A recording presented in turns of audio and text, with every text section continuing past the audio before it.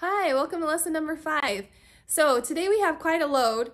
Um, a little bit of review at the beginning in our theory book, um, but there are a lot of songs that you're going to be practicing this week. So just as a heads up, be ready for it. Um, we're going to start in our theory book, so make sure you have a pencil with you, and we're going to get started. So for theory today, we're working on pages 8 and 9. Um, and this is one of those days where I want you to actually turn the video off and I want you to go through and answer all of these questions, okay? So there's 18 questions throughout this song and they're just gonna talk about some different things. So go ahead and turn the video off and do it, do the pages and then um, turn it back on and I'm gonna give you the answers. Okay, so welcome back. Um, we're gonna start with number one. We're just gonna talk through here. So name the flat in the key signature. This is B flat. The eighth notes begin on beat. So here there's first beat, one, two, and three, and so beat two. Okay, name the chord. This is an F first chord. Okay, so it's a first chord or an F chord, F first chord. Um, name the or F major, okay? Name the interval from a D to an A, that's gonna be a fourth. Identify the curved line as a slur or a tie. So if you remember, slurs are when you tie a bunch of notes or connect a bunch of notes together in a legato fashion. Um, and a tie is gonna go from the same note to the same note. Um, so this is a slur, okay, not a tie.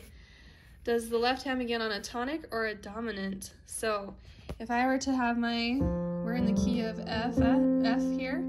Um, this is the tonic, tonic up to dominant. Okay, so my C there is going to be the dominant. Um, number seven, name the interval from C to an A. That's going to be a third. Name the interval from D to an A. That's a fourth. Okay. Um, name the chord. This chord, looking here. Okay, that is an A major chord. All right, name the two right-hand accidentals. So accidentals are sharps or flats or naturals that aren't already specified in your time signature. So my C sharps are an accidental and also the B flats because B flats are supposed, Bs are supposed to be flat. So this B natural, excuse me, the B natural is an accidental as well. Write the beats one, two, three for measure 20. So looking here, this is measure 21, so this is measure 20 here underneath. So it's gonna go one, two, and three, and. Okay, so one, two, three. All right, name the chord tones. So the bottom is the, it's an A, okay? Middle is C sharp, top is E. I think that's what it means there. I hope so. All right, name the chord tones. Here we have, again, the A, the C sharp, and the F. Okay, so just look here, you're making sure that you're in the treble clef here. So just that's the, that's the trick here, is you're still in treble clef. it switched over here at the bottom of this page. All right, um, name the chord. Here again we have an A major, and then name the chord. This is a regular old C chord. Okay, C major. Name the chord, F major. Um, name the left hand ledger note. So if you remember what ledger lines are, it's where we add a line to extend it either above or below the staff. So this note here has a ledger line underneath it to indicate that it's a note that's above the staff line and above this. So this note is D. Here's my C, here's my D. Okay, and lastly, I hope I didn't skip any, name the right hand interval. So from an A to an F, A to F, that's gonna be a sixth. Okay, so the next thing they want you to do is play the piece, okay? So this is a really famous piece. You'll recognize it. It's been used in lots of cereal commercials.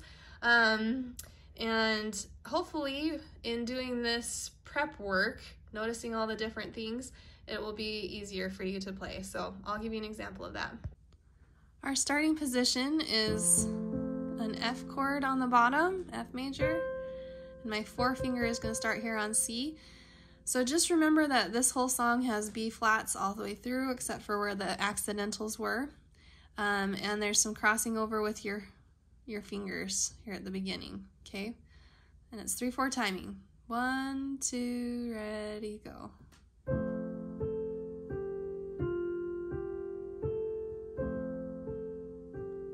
And it's pretty soft here at the beginning.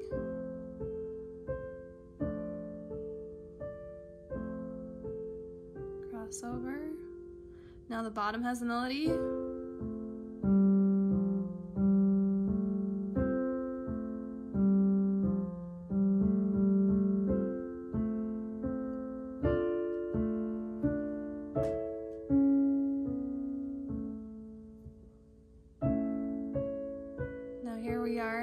Different hand position.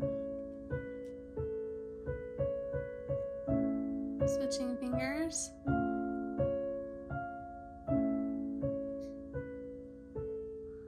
Then gets the melody again. So you play your top a little bit softer than your bottom.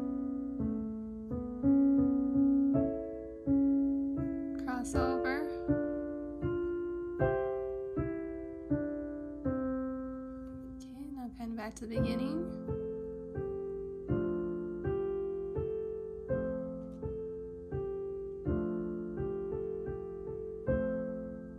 Switch to the third finger, my sixth at the end.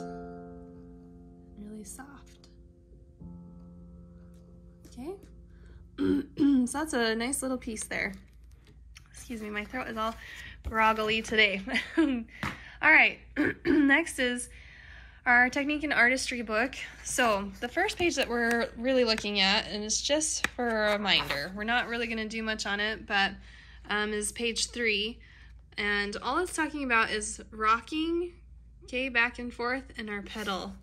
All right, so that's going to play into a factor into some of the songs that we're doing today is this rocking motion and picking up the pedal as we put down our, our press our keys, we pick the pedal up and then press it down after. So up, down, if you remember.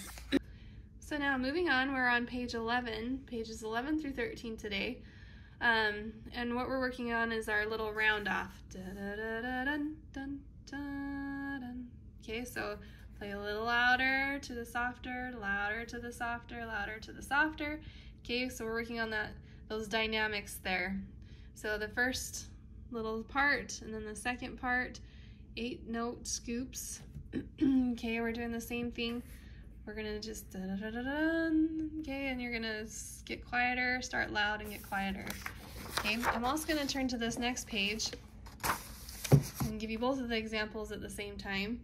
Um, looking at this tropical fish piece, okay, says the pedal creates a dreamy underwater sound. So if you notice on your pedal, you have just a few lift ups.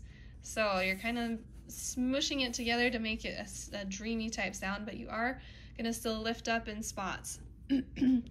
Says, play with light thumbs for the eighth note passages. So these are rocking. Da, da, da, da, da, da, da, okay.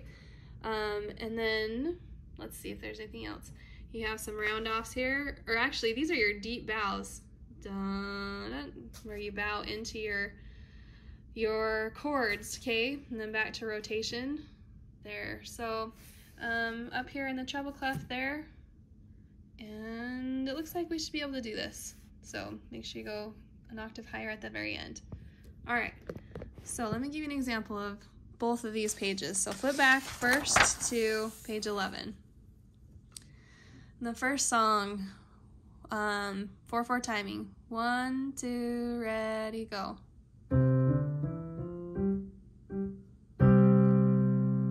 So we're working on the loud, oops, sorry, to soft.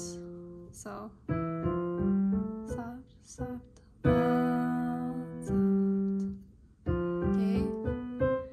And it tells you to continue, clear up to the next C.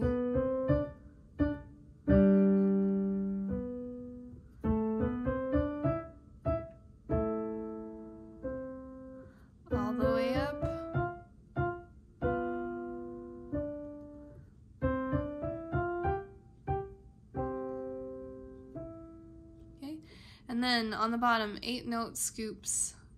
We're going to do the same thing, start on C and work our way up. One, two, three, four, da, da, da,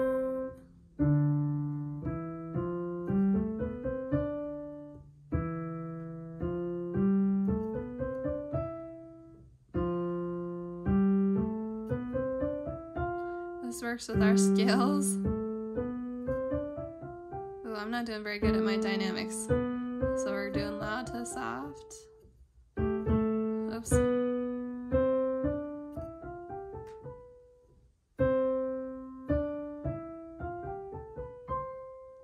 Okay, so do a better job than I did.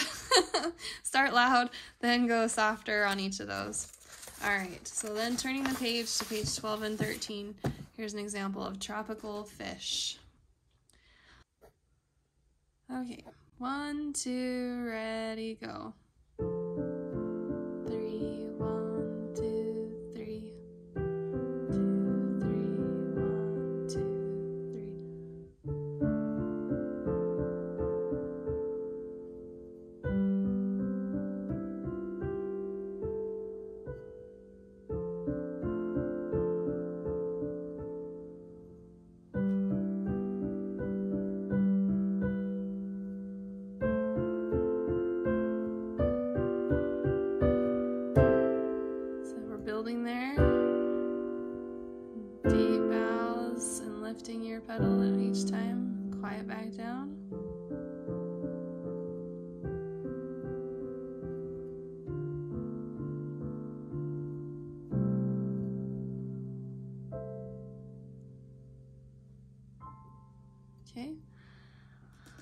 So that's kind of a a little bit of a dissonant sounding song.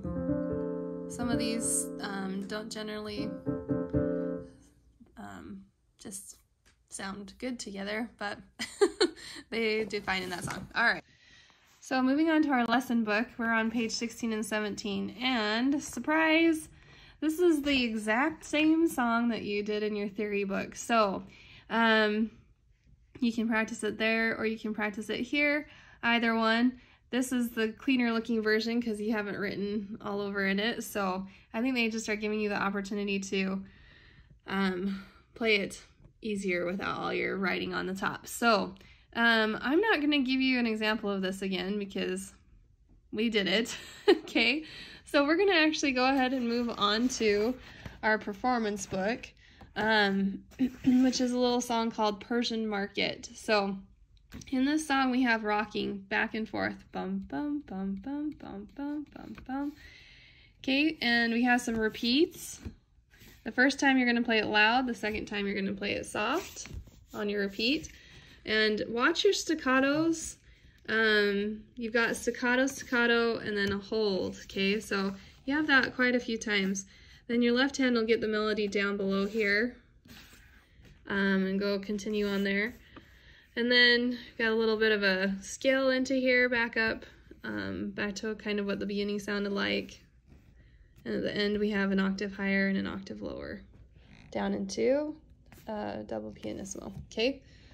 All right, so here's this song.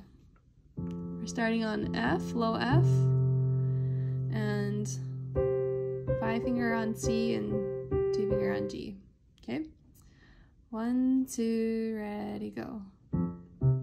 Oh, and notice it's supposed to be done pretty fast. On the top, it says busily, and this this um, tempo is very fast. So um, I'm gonna play it kind of quick, okay? One, two, ready, go.